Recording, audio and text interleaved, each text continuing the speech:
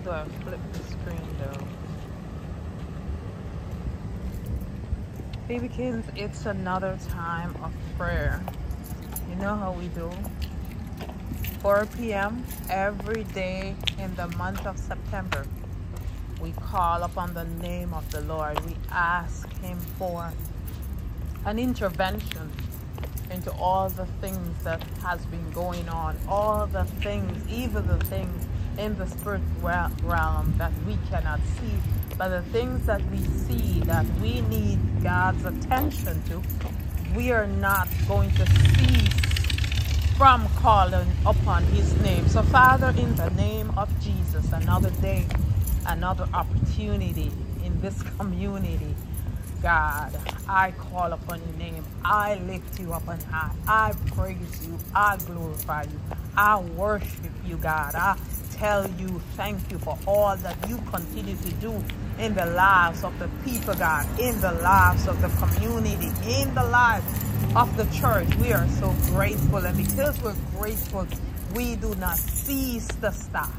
God, even though the word means stop, cease means stop. But God, we are going to continue to lift you up on high and tell you how grateful we are for all the things that you are doing. But God, in the things that we see happening around us. We ask for your intervention. We ask you to step in like never before, God. Turn the tables around, oh God, for those who are sick. Turn the tables around, God, for someone who just had a, a, a, family member, Lord God, who is suffering at this time from a particular illness. Turn the tables around for them.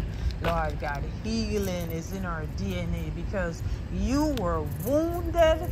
In Isaiah 53, verse 5, you reminded us that you were wounded for our transgression. You were bruised for our iniquities. The chastisement of our peace was upon you and by your stripe we are healed because we're healed in the name of no other name, the strong name of Jesus Christ. So we lift you up on this evening, God.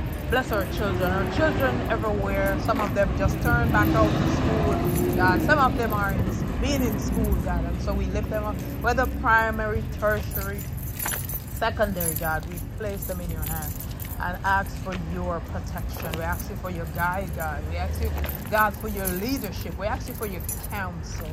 We ask you, God, that we will get wisdom from you and counseling from you, God. We'll continue to search and research all the things that you have for us, God. We lift you up this evening. We praise you. We honor you. We magnify you. This is my prayer in Jesus' name.